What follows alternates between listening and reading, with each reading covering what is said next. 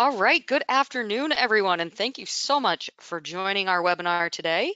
We're going to talk about Hobo data loggers being used for stream and wetlands hydrology.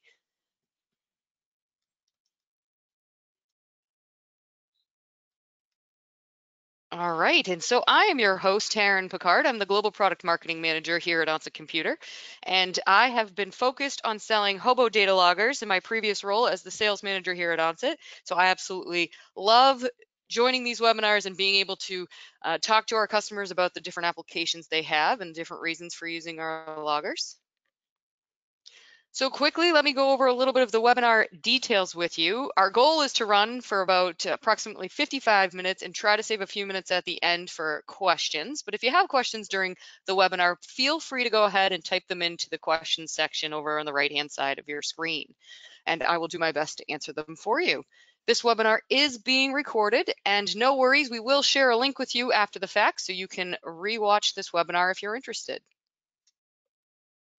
So a little bit about Onset, who we are and what we do. We are the home of the Hobo data loggers. We're located actually on Cape Cod in Massachusetts, and that is where we do all our designing and manufacturing of our loggers. Uh, we focus only on monitoring products. That is what we do here at Onset, and that is what we're uh, good at doing. We have a global network of distributors, so our data loggers are used around the world. And we are ISO 9001 2015 certified. We also focus on lean manufacturing. So doing, we're doing the best we can to make sure you get a high quality product um, without taking a whole lot of extra steps. And we have been doing this for over 40 years. So today's presenter is Andrew Thompson, and I'm very excited to introduce Andrew to all of you. He has been assisting researchers and consultants and government agencies, helping them find the best data loggers for their water quality and environmental monitoring needs. So with that, Andrew, I will turn it over to you. Awesome. Thank you, Taryn, and thank you everyone for joining us today. Uh, Taryn mentioned, and, and I will definitely agree that one of the best parts of my job is being able to hear about all the different types of applications and really the different ways that our customers use these Hobo data loggers in these applications. Um, one that's very common that comes up often, uh, you know, for some of our water level solutions is stream and wetlands hydrology monitoring whether it be wetlands restoration work, stream restoration work, uh, mitigation banking. Uh, this is a, a, really common application that comes up, and I, I, felt it was a good one to share some of the insight um, about the kind of data loggers that we use in these environments. Uh, so for today's agenda, um, we'll walk through an overview of the different water level solutions that Onset provides. Um, and then we'll get really more into the meat of the presentation, which is a detailed look at the U20 and U20L optical USB water level loggers. The reason um, I have selected these ones is because they are most commonly used in these wetlands and stream applications where you have so many wells and they're uh, a, a, very affordable and economical solution uh, for these environments. We'll get into really the start to finish process, uh, which begins with configuring your loggers uh, through the desktop software um, the deployment methods and mounting methods for your data loggers, offloading that data in the field, and then uh, processing the data right through our HoboWare Pro software. And then at the, the end of the presentation, we'll uh, do a quick overview of some of the different water quality parameters that Onset offers, and then also some of the climate monitoring solutions that might go hand in hand uh, with these solutions. Uh, to kick things off, I, it's it's two o'clock post lunch, so hopefully I don't put anyone to sleep uh, during this hour webinar. But I'll kick it off with a poll question to wake everyone up. Um, and the question is, are you currently using water level data loggers? And I'll let Taryn take it from here for the poll question. Excellent. Thank you, Andrew. I just launched that. Uh, poll and I see a whole lot of people are using our loggers already. So this is very exciting. Excellent, excellent. Some people are not using loggers at all at the moment. And then there are a few that are using other brands. That's okay. We're excited that you're here to join us today. And I think you'll be happy with using Hobo data loggers in the future. All right, so I'm closing out the poll here and I'm just going to share the results. So there you go, 75% of the attendees during this webinar today are already using Hobo data loggers. Excellent. That's awesome. All right, Andrew, back over to you. Great for you. For those of you that are using Hobo data loggers, um, hopefully uh, we, you know, getting into more of the desktop software and the, config the configurations, uh, you can get maybe some things that, or learn some new things that you hadn't before. Um, so with that, let me start the presentation here. All right, so I, I want to kick things off with just to put some context uh, to, you know, using data loggers in these types of environments. This is a nice quote here uh, to start it off by saying, hydrological monitoring in a wetland environment involves observing and recording water levels across the site with a view to using the data to understand how the wetland hydrology functions. So uh, with you know Hobo data loggers, we look to monitor uh, water levels in these uh, wetlands or stream environments to get that hydrology and see how it functions.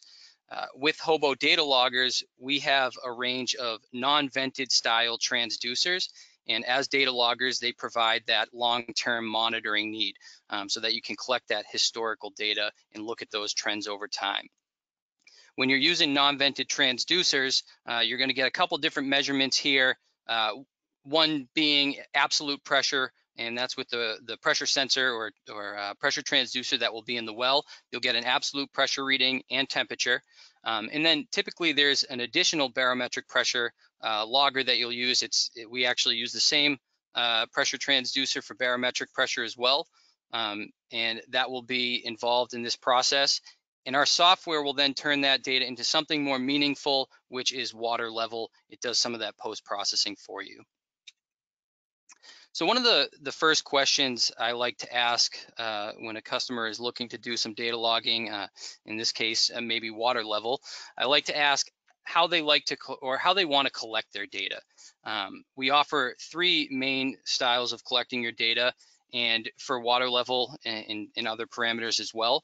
Um, one being web-based remote monitoring solution that gives you the ability to have cellular, Wi-Fi, or Ethernet uh, telemetry to get that data remotely uh, right through our cloud-based platform so that you can see that near real-time data. Then we offer um, a Bluetooth solution as well, which if you are going to the site, and I know with, with a lot of the wetland restoration projects, um, you know, they have to go to the site every four or six months to kind of see the, the vegetation and the growth of the vegetation.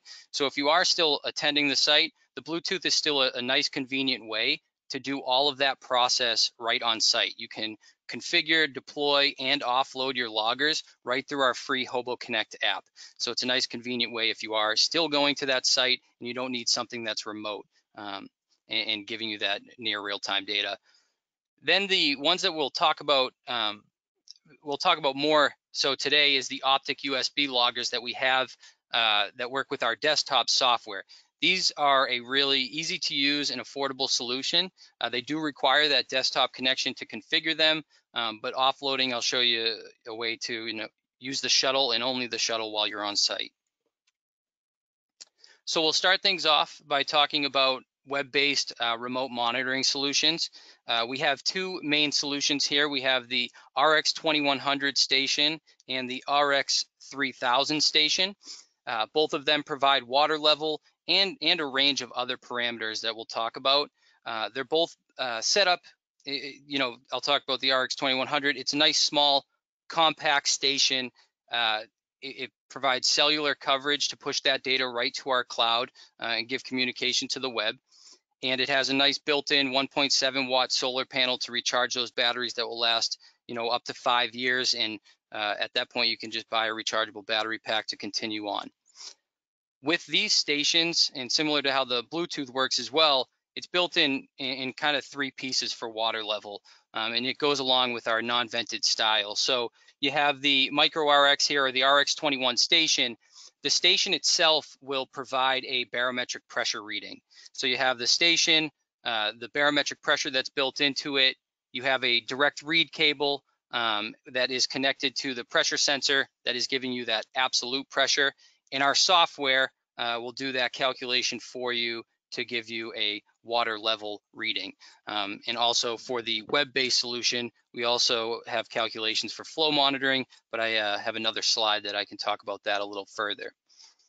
With the RX2100, along with water level, it has five inputs for some of our smart sensors. Um, we have a range of different smart sensor options. They're plug and play sensors, and you can do various parameters such as you know temperature and relative humidity, wind speed and direction. Um, you could even put a rain gauge on here. That's a very common one if you're looking to correlate water levels uh, with rainfall totals. So you can add up to five of those inputs right here with the Micro RX along with doing water level. For the RX 3000 station, this is a little bit more of a robust station uh, and it's flexible as well. There's, you know, everything on this station is plug and play.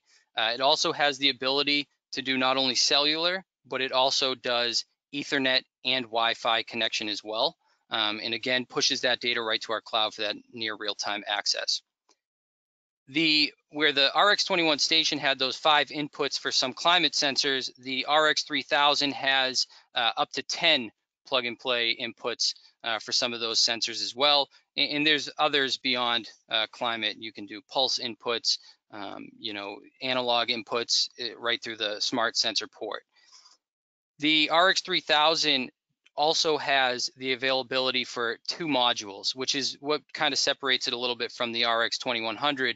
Those two modules can do a range of things. Um, you could do two water level setups. So if you were looking to do maybe a groundwater well and then alongside it maybe a surface water well or a surface water um, level measurement, you can do two of those. If you had two wells that were spread apart, um, you could run cable to both of those uh, wells and, and get two measurements from the RX3000. It also has, we also offer other modules such as analog modules, uh, relay modules, if you were looking to maybe turn pumps on or off or open and close that, that relay. For the analog module, this is going to, it's a four channel analog module and you can take various inputs. Maybe if you're looking at you know, third-party water quality sensors, for example, if you wanted to see maybe the conductivity at a location or the dissolved oxygen, uh, you can take that voltage or, you know, 4 to 20 milliamp input that are very common with those types of sensors. The station will actually, in, in that module, will actually give it excitation power. And then you can scale those readings right through our software. So for dissolved oxygen, you can um, put meaning to it by turning it into milligrams per liter, for example.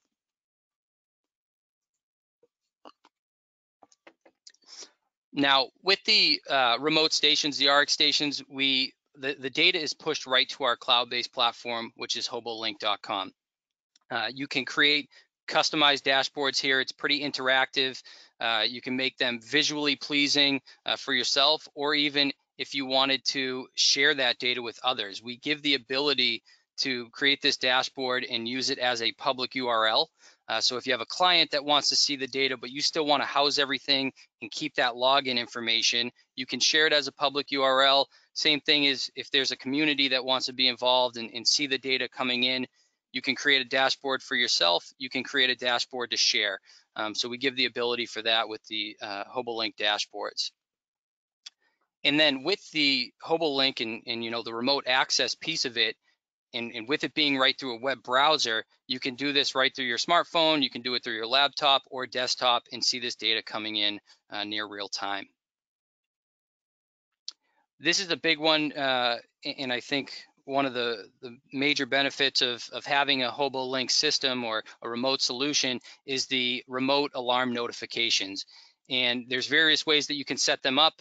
Um, you can set up text message or email notifications or alarms. Um, say you were looking at, you know, high water levels or low water levels, high or low temperatures, you can scale them as well, but you can set up, you know, an alarm to be triggered and a text message to be sent if a temperature went above a certain threshold or if a water level went above a certain threshold.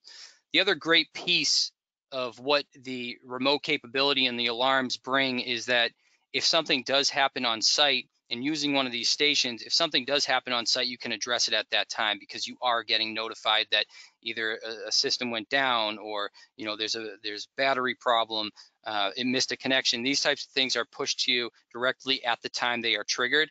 Um, so that way, you know when you do go to site, uh, some of the some of the options now where you go to the site and you collect your data, if there was something to be a problem, this actually notifies you beforehand so you can address it before you get there. And then uh, a lot of our customers will export that data Uh, although you can view everything right through HoboLink, you can export that data as well right through Excel, CSV, or even if you like using our desktop software, you can export it through uh, as a HoboWare file as well. Um, you can set up automatic data delivery. So if you wanted to create maybe um, an automatic export uh, with an Excel file and see the last seven days of data and have it pushed to your email, you can set that up right through HoboLink. Um, and then we also have the ability to integrate with other software. Right now we have, you know, seamless integration with Weather Underground or, you know, Aquarius platforms. So that has seamless integration, but uh, we are open to also using our REST API to integrate into other platforms as well. So now to talk a little bit about the flow monitoring, um, and, and, this kind of goes hand in hand with the uh, calculations for our non-vented transducers and the barometric pressure. Our software will do these calculations for you. So for the RX station, we've built in a, uh, a flow calculation. Uh, you know, if you have a weir or a flume uh, in a specific setup, you can punch in those uh, parameters right here, and we'll actually give you that um, as a parameter that you can look or you can see on your dashboard. You don't have to go and post process this data through a third party software to get flow measurements. You can see your stage, you can see your flow. Um, we provide that ability right through hobolink.com. And then also with, you know, with weirs or flumes, if you have uh, stage discharge, uh, table already in place. Maybe it's a stream location uh, that you had one of these, or you know maybe there was a USGS gauge at at some point along the lines, and they have a stage discharge table. You can enter those uh, parameter, or you can enter those data points in here as well. And in turn, it will also give you a flow measurement that you can then in turn put on your dashboard. And last but not least, uh, we offer the map view. Um, if you have you know, multiple stations and multiple locations instead of kind of or instead of going to different dashboards and, and trying to locate each one we have this map view so that you can go in you can hover over and, and click on the actual uh, station that you're looking at and see those current conditions. So it makes it just a little bit more convenient um, and seeing what's going on with these stations. So now over to our bluetooth enabled data loggers. Um, or data logger for uh, the MX 2001, which uh, this is a great water level solution, and it's built similar to how the RX 2100 and RX 3000 are built, where it's it's kind of three main pieces here. You see the top end, uh, which is your your logger housing, um, your Bluetooth connection, but it also provides that barometric pressure as well. Um, and same thing through our Hobo Connect software, it's going to do that calculation and provide it in terms of water level for you. So you have the top end here, um, then you have your direct read cable, uh, which is really just connecting it to the center end with those uh, read cables. And this is a, a, very similar Kevlar cable to what we have for the RX 2100 and 3000. Um, you can have a custom cable length up to 500 meters for these wetlands and, and, stream sites, that's usually not necessary. But if you were to do two wells and you, you know, maybe for the remote solution, the RX 3000, if you want to do two wells, you could run up to 500 meters of cable uh, to locate both of those wells. And then you have the absolute pressure sensor down here, which comes in both stainless uh, steel and titanium and uh, pressure ratings from 13, 30, 100, and 250 feet. Um, as far as how the Bluetooth works, you have that, you know, Hobo Connect app, and I'll get into that a little bit further, but this is a nice illustration down here of someone using the Hobo app. When you are within that Bluetooth range, which is typically about 100 feet line of sight, um, you can connect right up to that app eh, or connect up to that logger and configure everything right on site, offload it on site so that you don't have to actually access the well and pull everything out. Um, this is also nice because it shows a, a very common setup, which is like a two inch PVC stilling well, for example.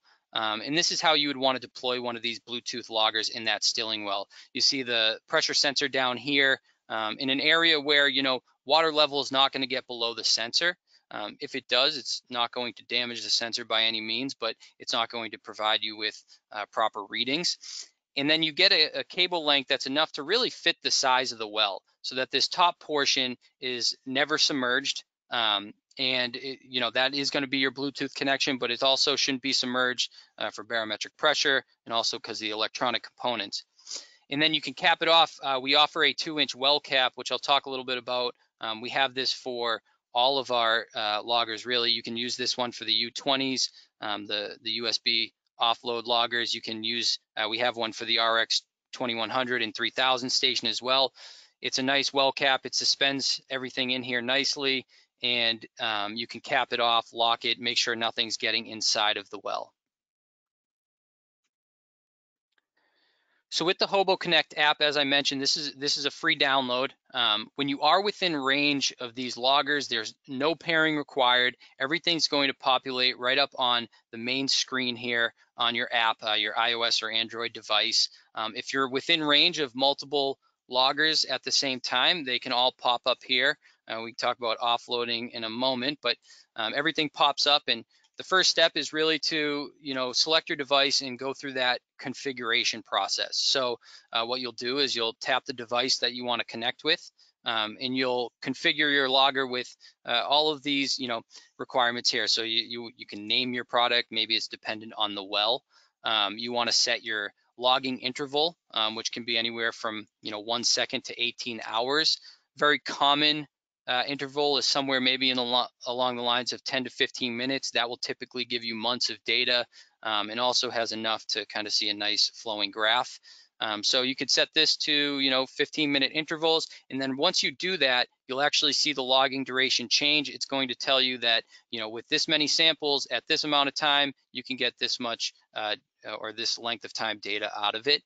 Um, here you see one minute will give you 24 days. If you change that to 10 to 15 minutes, you'll get months of data. And last but not least here, the starting uh, is where how you start the logger. You can either start it to start it now, um, or you can set it for a future date if you wanted to start at a, you know tomorrow at this time or you know later on in in that current day. With the water level side, um, we want to enter our reference level, and this is really how uh, how everything starts and it's calibrated is by entering that reference level in at the beginning of your deployment. Um, so you'll take a reference level measurement, uh, you'll punch it in right here, uh, whether it's meters or feet that you're looking at, and then also what kind of density you're working with for the environment. Uh, maybe it's it's a freshwater wetland or you know a salt marsh. You would punch that in here. We also have the ability for freshwater adjusted for temp, which I suggest if you are in those types of applications. Um, and then you would save that down. Once you've deployed your loggers um, and you, you, come back to your site, they've been logging for months uh, and you want to see that data, uh, again, if you're within range of multiple loggers at the same time, we actually just recently came out with a feature where you can actually download those loggers all at once. Um, you can do a kind of a bulk offload, uh, which is great. It saves down the file and you can open these files to kind of see a little inter interactive graph here uh, to look at your points I think, yep, okay. So you can look at your points here and it, it is interactive. You can export this data as well, um, whether it's Excel, CSV, or again, you can export it as a Hobo file if you like using that platform and using some of those capabilities. If the graph looks, you know, kind of the way you want it, you can export it as a PNG file as well. So now to talk more about um, really the, ma the main topic today, which is the optic USB pressure transducers. Um, and again, the reason we're going to talk about these more for you know stream and wetlands hydrology is when you're looking at hydrology, typically there isn't just one well. Um, there's many wells to kind of look at a, a location, again, whether it's for restoration work um, or mitigation banking, you're looking at many of these wells. And so these become the most economical solution. Uh, there's also a need to actually attend the site uh, to check vegetation and for other purposes. So these are a great solution. Um, and as far as how they are set up, we have the U20L series logger uh, and the U20 stainless steel and titanium loggers. Uh, both of them are, again, non-vented for hassle-free deployment. There's no, you know, cleaning of vent tubes. Uh, these are really bulletproof solutions. And then also for your barometric pressure, um, we have, you can use the 13 foot rated transducer that we have. You don't have to purchase an additional uh, barometric or designated barometric pressure logger. You can just use the same logger for that purpose. Logging intervals um, can go from anywhere from one second to 18 hours. Again, the most common I hear is about 10 to 15 minutes. Uh, and both of them include temperature. For the U20 uh, style loggers, these are um, you, the, the U20 stainless steel version is $550, I believe, and the titanium $650. These are really rugged solutions.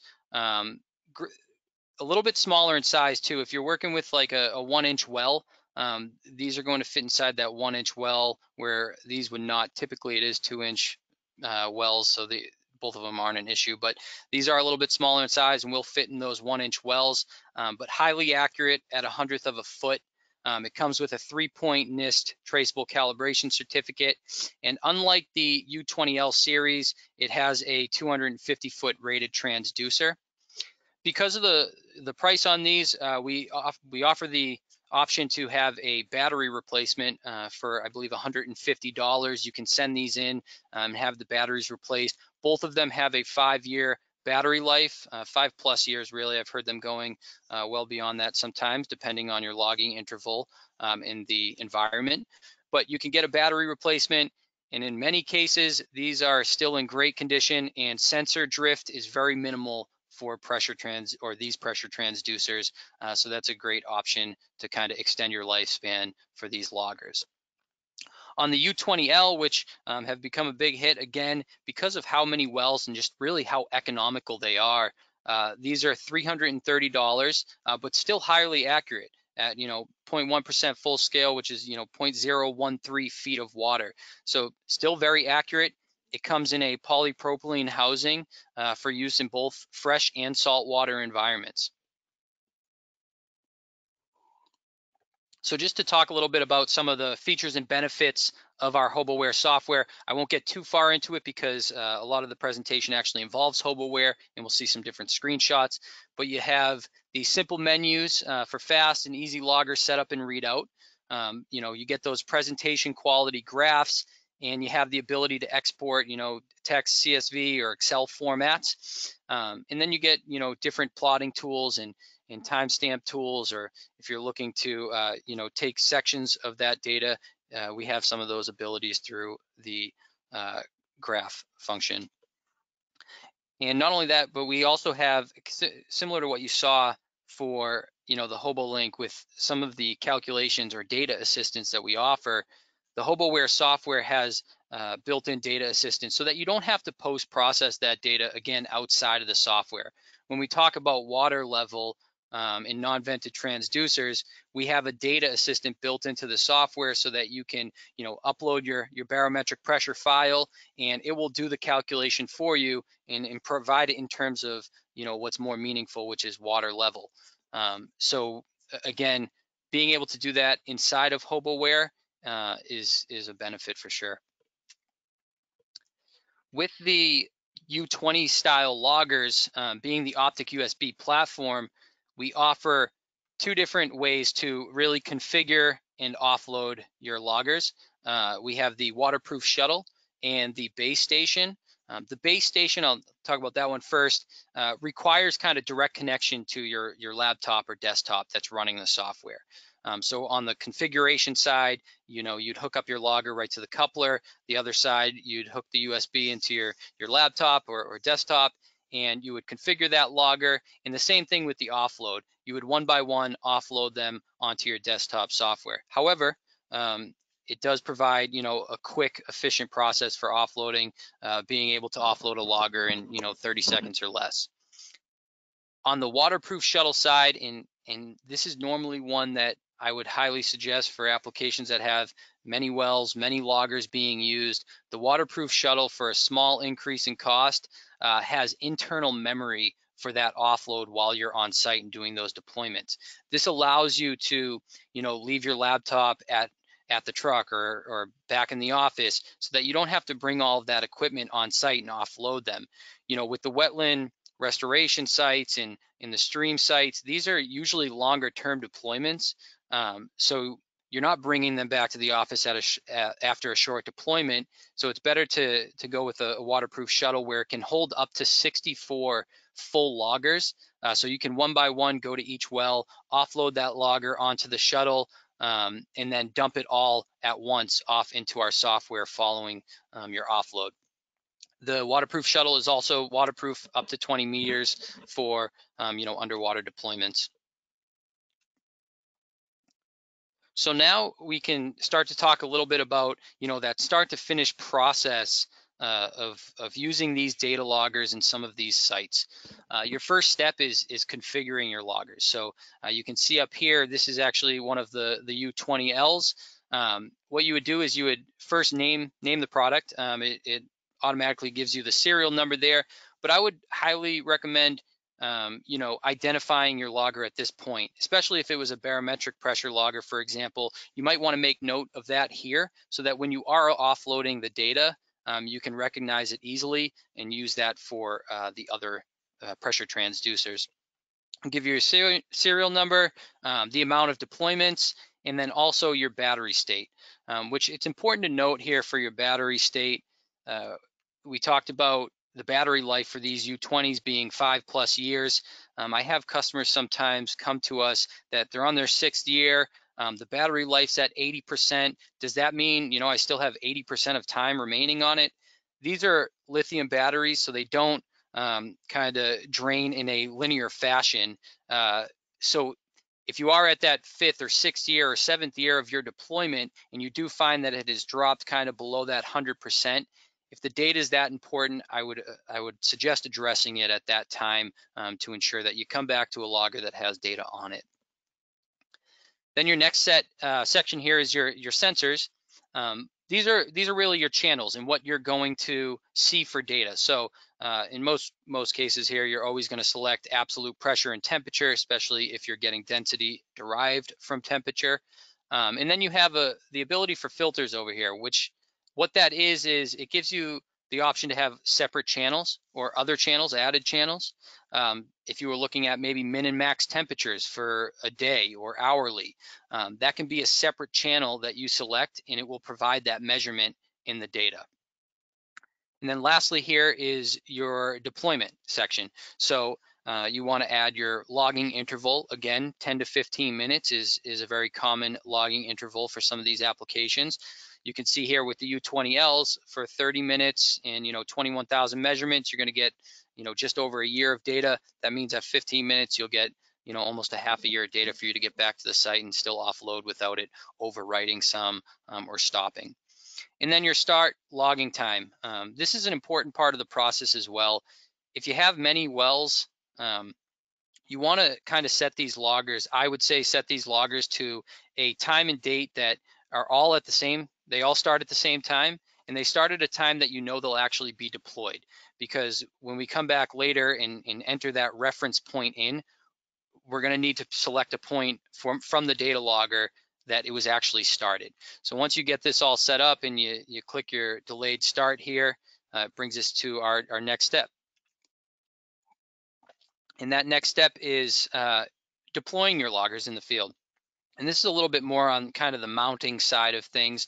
Uh, these are common types of setups that I find in, you know, wetland restoration projects, uh, stream projects. You see, one of the most common methods of deployment would probably be a two-inch PVC stilling well, um, where you would see slotted PVC below grade, standard PVC above. Um, and we offer this, you know, we talked about the well cap. We offer this well cap to cap off not just two inch PVC, but two inch pipe in general. Um, it has a, a, nice removable disc here. So as you can see, if, if your cable's suspended, you have a, a, logger at the bottom. If you pull this, if you pull that cable out um, and dropped it inside of the well, that could uh, be a potential for some time lost for sure. Uh, so we have this nice well cap that has the removable disc so that if you did pull it um, and, and, let go, it would drop right on top, but it also ensures that you're keeping everything at the same height that it was previously. Um, so that's a great, uh, nice little well cap to cap off some of these more common two inch PVC stilling wells.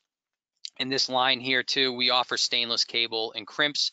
Um, I hear of customers using fishing line uh, to suspend them as well. For barometric pressure, um, you want to put that logger in an area that's really just shaded and vented. Um, you can keep it inside one of the wells uh, as long as it's not going to be submerged. Once it is, it's really just giving you absolute pressure. It's not doing the barometric. So you want to put it in a location that um, is vented, shaded, and you are going to find, I, I know customers that will put them maybe in trees or, or bushes, uh, as long as you can access them when you come back because it is important information. With the groundwater wells that you see here, uh, you know, that might not be as common uh, for stream applications. I can, I definitely have customers that, you know, will punch in some rebar and strap a, a PVC well to that to keep it stable. So it still is uh, fairly common, but you can also, um, if you're looking to do something that's maybe more, uh, it's, it's not as visible uh, as a well and you're putting it in a stream, you can see here there's a you know a cinder block with a piece of PVC that has the uh, you know the holes drilled in it to get flow through the sensor. Ultimately, at the end of the day, you want this to be stable. You want the pressure transducer to be located in a spot where it's not going to move up or down, side to side, um, because when you do that, you are uh, kind of changing it, its calibration a bit and, and, ruining that process. So you just want to make sure it is stable um, and, and, again, from moving up and down or side to side. Once you have, um, you know, mounted or, or, set up your mounting, created your well, um, and you deployed your logger, you suspended it inside that well, we will then take a reference level measurement. Um, and this is an important part for the processing of your data because this is what's really calibrating your logger and telling you where you started, um, which is necessary for these non-vented style transducers. So common, commonly we have uh, customers using a water level meter, sounder, beeper, there's different names for it, um, where you, you kind of drop that beeper down in the well, um, it beeps once it hits water and you get uh, and you can get your reading um, or stage, current stage at that point. Um, what you want to do is jot down that level. You want to jot down the time and date in your field book because you're going to use that measurement later on in the process, which could be months from now. So you want to make sure you hold on to that field book or put it in a safe spot um, or even recreate it maybe on a laptop following your, your deployment. It's, it's important to know too that the reference measurement is what you want to reference the level to. Again, these are non-vented transducers, so really it's taking just the differential between barometric and absolute pressure. So if you're looking at, you know, a groundwater well or a wetland um, site, you can reference it. I, I have a lot of customers that reference it to the ground level. So, you know, if you had, if if you're taking a reference measurement and the current water level is a foot below ground surface, you would punch that in as negative one feet because you're referencing it to that ground level. If you're doing a surface water application, uh, like a stream, you could reference it to the top of the well casing or maybe the stream bank. Um, again, it's what you want to reference it to, and that's where your data is going to start off. Um, when you're kind of looking at it from a graph view and, and using um, these non-vented style transducers. once you've deployed your loggers, uh, they've been out there and collecting data, it's time to come back and, and collect that data. Again, you leave them out there for months at a time. You come back and do a, a data collection. This is the process more or less with one of the data shuttles. Um, the next screen actually shows a little bit more on the base station side and what that process looks like. But for a, a data shuttle, um, you know, it's, it's really quick and easy with this optical USB interface. You pull the loggers from the well, um, you can clean them off, and then you attach that shuttle or, or base station uh, to the logger via the coupler that it comes with. And, you know, for all of our water quality and, and level solutions, uh, we have this base station shuttle and coupler set up and it'll come with all those different couplers that you need. Once the logger has been secured and in the shuttle um, and attached to it, uh, you can momentarily press the lever on the side of the coupler and this will bring up an amber LED light that will blink continuously uh, while that process, while that is in progress. Um, once it reads it out, which it is a quick process, I believe under you know 60 seconds, after that it's read out, the shuttle will sync the logger with its internal clock. Um, and the shuttle is has most recently been attached to a computer at that point. So that's why it's syncing it with its internal clock and it's gonna relaunch it with its original settings. And when I say original settings, that means the settings that you preset. So ultimately it's um, launching it with a fresh memory. And then once that's complete, the LED will blink uh, green for success so that you know that you can redeploy your logger. And when you do redeploy your logger, it's now time to take a reference level measurement that you will use for the next uh, time you collect data and offload that data through the HOBOware Pro software. So this is a little view of what reading out the loggers um, looks like in, in, the HOBOware Pro software. Um, I showed the process of the shuttle. This is more of what it looks like if you were to use a base station. You can see here a a U20L uh, kind of pops up when it's connected to the desktop with your uh, with your base station. And what you're going to do is one by one with the base station, offload that data onto the software. You're going to save those files down in a spot that you can grab them easily. Um, and, and, again, if you had not done this prior, uh, you know, if you know which ones your barometric pressure file is, just make sure that it's easily recognizable for kind of the next step in the process, um, which is using the barometric pressure assistant. Um, if you are using a shuttle and offloading that data in the field, at this point, and which makes it again much more convenient, it's not a one by one process. You have all the files that you can download at one time that populate because they're all uh, on the, the hard drive of that uh, USB shuttle.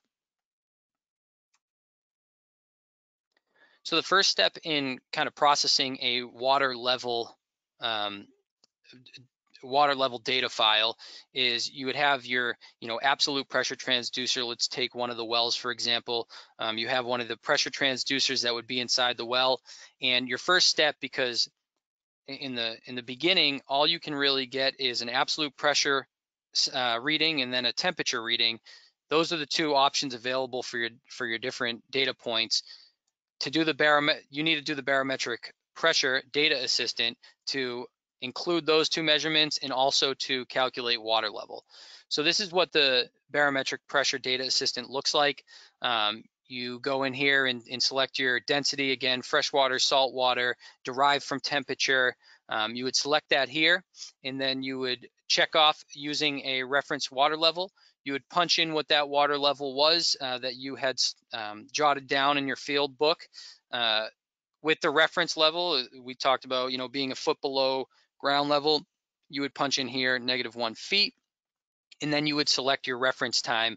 Uh, this is really, the drop down gives you a whole list of all the data points that um, had happened during the deployment. And again, this is why it's important when you are deploying those loggers or you're configuring those loggers to have them start at a time that, you know, when you took a reference level, it actually took a data point as well, or was close enough to it. And then once uh, you finish this step for the reference level, it asks for uh, a barometric data file, and you would select uh, from the ones that you had saved down, you would select that data file, upload it um, here, and it will do that calculation for you. Um, it's good to use a barometric pressure logger because you know during storm events where the barometric can change, uh, this will actually account for that and show nice smooth data as opposed to if you were using a constant barometric pressure or just using the reference level and absolute pressure, um, you could see during those times maybe a spike in data. Um, and, but you do see that we have the option to use a constant barometric pressure or um, if you're using a reference water level, uh, there's no need to enter that in. So now once you've done the barometric pressure data assistant, uh, you now have the ability to see absolute pressure, temperature, absolute pressure barometric. Uh, this is your barometric file here. You can see that data as well. And then also uh, you'll now get a water level reading. So again, you're not having to post process this data and do this calculation outside of our software. We do it for you. Um, and at this point, this is where you would plot that data. So this is what the HOBOware software looks like um, when you are actually graphing that data. It's a nice interactive graph. You can see in the top here, it has all of your data points, um, almost looks like an Excel format here. It has your timestamp and then all the different uh, parameters that you have monitored. uh, you can at this point, and you could do it on the pass screen as well, you can deselect some of these. You know, if you don't really care to see barometric, if you don't care to see absolute pressure, you just want to see water level, um, you can deselect them over here on the left-hand side. And then, you know, where I said it's interactive, you can you can zoom into different parts of this graph. You can kind of uh, cut out little stamps of, of what you want to see, what's applicable to you. You can change the type of graph, you know, a bar graph. Uh, so it, it is interactive. Um, and you can export this data as well. If you wanted to pull it off and, and kind of do other things with it, uh, you can export it as an XLS or an Excel file, a CSV, or even a text file. Um, one of the things, you know, when you're using many of these wells um, or you have several pressure transducers or loggers that you're using, you can merge these data files uh, together so that you can see all that data or the important data on one graph here so that you can then turn around and print that off. Um, once you've once you've kind of offloaded your your U20 um, you've created this file or, or, you've gone through the barometric pressure data assistant process. You now have this file. This is now a project file. It's no longer just a data file. It's a project file because you've done that process. And at this point, you can go in on the top left. It gives you the option to merge data files. You can now add in um, you, you, go through the same process, but you can add in new project files to kind of merge that data and see it all on one graph which that actually brings us uh, a little bit quicker than I thought maybe. That that brought us to uh, the end of kind of that process and using those U20s in these, you know, kind of applications for water level monitoring. Uh, it brings us to our second poll question, which is, you know, in addition to water level, are there other parameters that you're interested in monitoring? All right, well, I just launched that poll. And we'll give everybody a second here to put in their results. Looks like a lot of people are also interested in monitoring water quality. I'll let that run for one more second here and then I will close out the poll. Yeah, there's All a right. good mix here of water quality and weather parameters and soil conditions, so that's good. All right, let me share those results with everyone. So it looks like water quality definitely is the win here, but uh, certainly weather parameters are also very important for a lot of people on the webinar with us today. Excellent. All right, back over to you. All right. So we're going to finish things off here, just kind of going through some of the options that Onset offers beyond just water level um, that can be applicable to these sites um, or other applications that maybe you're involved in. Um, for the water quality side, we offer a range of different temperature solutions. What you're seeing here is one of our, uh, it's become one of our best sellers of, of the Bluetooth logger, and I'll talk about that one in a moment. But, you know, with water level, we had remote-based solutions, we had Bluetooth solutions, and then we also had the optical USB style loggers. It's the same with temperature as well. Um, we offer, you know, plug and place temperature sensors that you could use with some of those RX stations. Uh, we offer Bluetooth style temperature loggers, uh, whether it's for water or even uh, climate parameters. And then we offer the USB style that, you know, have been around for many years, um, the tried and true. This is this is a, a nice Bluetooth logger uh, that we came out with recently. It's you know, highly accurate at, you know, below a, a quarter degree Celsius.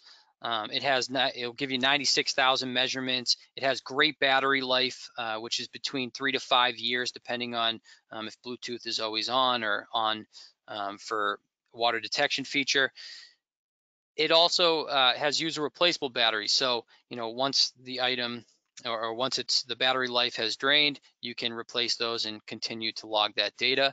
Um, it had what's unique about this logger, and really I think one of the only ones for our water temperature side, it has the ability to provide water detection. So it has these two screws on the front that look for the conductivity of water. Um, when it is submerged or when it is out of water, it will actually point to that in the data. So you can, you know, easily filter that data instead of looking for your temperature spikes um, and kind of filtering through it. It does that for you, and you can easily uh, format it that way. Along with temperature, we also have uh, conductivity and salinity measurements. Uh, we offer two loggers. We offer a freshwater conductivity logger, and then we also offer a you know uh, full seawater for salinity and conductivity measurements. Um, the you know saltwater conductivity logger will get up to 55,000 microsiemens per centimeter, um, which is typical for saltwater applications. This is on our optical USB platform, so similar to the U20s, uses our desktop software, um, and hopefully in the near future, this will also be in our Bluetooth platform, along with the DO logger here, which uh, now is also on our optical USB interface with the desktop software. Um, these are these are great solutions, been around for a long time. Um, and also, again, everything we offer is really a data logger. Uh, so it's going to give you those historicals, um, and they're all economical. So, you know, if you're really looking to spread the range um, at a location, these are great solutions to do that and get those long-term trends. Then we have the pH logger here to kind of wrap up the water quality measurements. Uh, this is our, our Bluetooth pH logger, gives you that Bluetooth convenience where you can configure everything, deploy it and offload it right on site.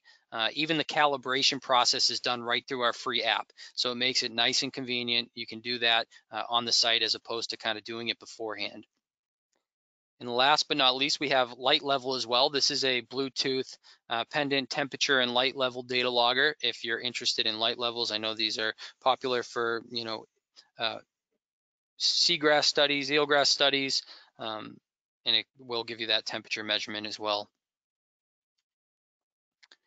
And then beyond kind of water quality, and there's a range of data loggers that we offer just beyond these two. You know, we we kind of cover both aquatic, terrestrial, um, and indoor building performance uh, measurements. But uh, for more what's applicable to maybe wetlands and stream environments, uh, we have the water quality parameters, and then also some of these measurements here.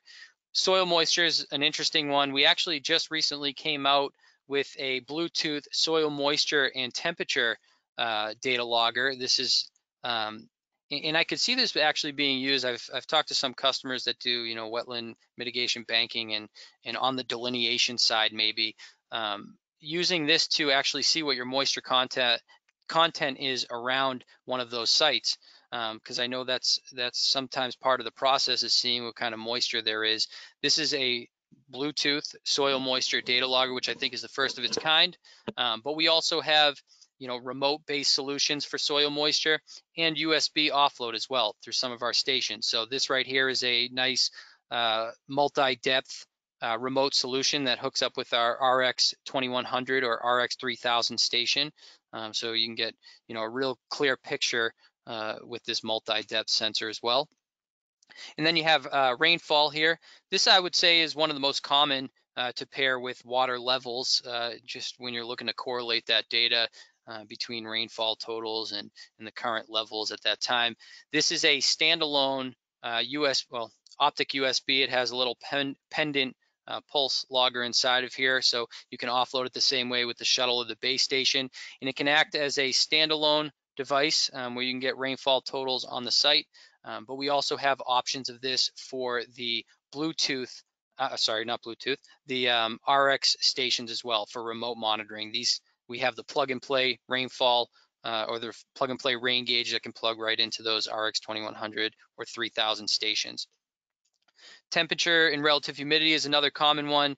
And for these, we, um, you know, we kind of hit all the different uh, forms of, of data collection, which uh, this is a nice Bluetooth temp RH sensor uh, you use right through the app. This is a uh, plug and play smart sensor for our temp RH, which can be plugged into, you know, whether it's a USB uh, station that we offer or one of those RX stations that provides that remote data. Um, we have the temp RH kind of covered in all those areas as well.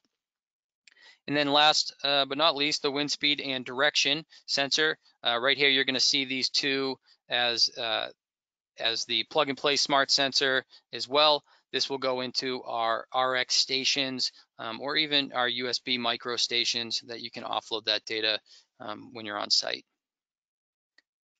And with that, um, we will, I believe, open things up for questions. All right, sounds good, Andrew. So we've had lots of questions, and I will apologize because some of them are way too technical for me. So if I did not respond to you, I'm going to tell you now it's because I didn't know the answer to your question, and I will look That's into okay. it, and we will we will certainly follow up with some folks. Um, so a couple of things, uh, questions came up, and I did the best I could to answer them. But if you don't mind talking a little bit more about the Bluetooth communication and kind of just going through how it doesn't that does not mean it communicates through water. I, and I know you touched on this, Good and point. um, Yep. I just think it's something that you could certainly touch on again based on some of the questions we've had. Absolutely. Yeah. So, you know, it depends on which loggers you're using, but if you're looking at the water level solution, um, where that top portion of the MX 2001, the Bluetooth water level setup there, that top portion can never be submerged. So you'll be able to access that logger at all times. When it comes to maybe your, you know, the Bluetooth temperature loggers and using, you know, the app, those temperature loggers that can be submerged um, and you kind of leave them in these stream environments when you walk up to them you're not going to be able to get them uh, through water essentially. It, it's really a line of sight connection which we say is a 100 feet line of sight. Um, it can penetrate through certain items but water is, is typically not one of them Excellent. Thank you, Andrew. Um, and I don't know if you know this one, but I didn't know the answer to it, so I'll, I'll openly admit that. But do uh, the reference water level measurements have to be taken immediately after deployment, or can they be taken at any time during deployment? So typically, I suggest taking them at the beginning of a deployment, but ultimately, the data, the, the software will correct for it, whether it's at the beginning or the end of your deployment. So um, it will, you know, if you take it at the end, it will actually correct for it uh, backwards. Uh, if you take it at the beginning, I I say take it at the beginning because it, it kind of you, you're following that same process. And then when you come back to collect your data and you're going to redeploy your loggers, you're then again taking your reference level measurement. But if you um, had failed to maybe take that reference level measurement at the beginning of your deployment, yes, take one at the end and it will correct backwards. Excellent. Thank you, Andrew. So lots of other questions rolling in here, um, but maybe you could talk a little bit about our weather stations because I have a couple of different questions coming in about the RX, uh, micro RX station and the built-in barometric pressure sensor. You want to talk a little bit about that? Sure. Um, so with with the different stations that we offer, I mean, we offer those remote based solutions, the RX 2100, the RX 3000. Those were the two that we kind of went over today. We also offer um, a U30 and an H21 USB station. Those are uh, the non-remote USB style that are very similar. Uh, the H21 has those five plug and play inputs. Uh, the U30 has up to 10 and then also gives you some of those module um, options.